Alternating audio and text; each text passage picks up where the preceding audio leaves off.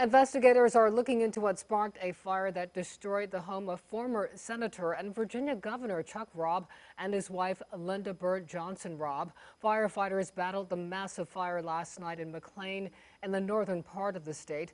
Fairfax County firefighters say crews took the couple to a hospital after they were injured. The 82-year-old former senator was treated for burns and released. Mrs. Robb, who is 77, suffered smoke inhalation and burns and remains in the hospital.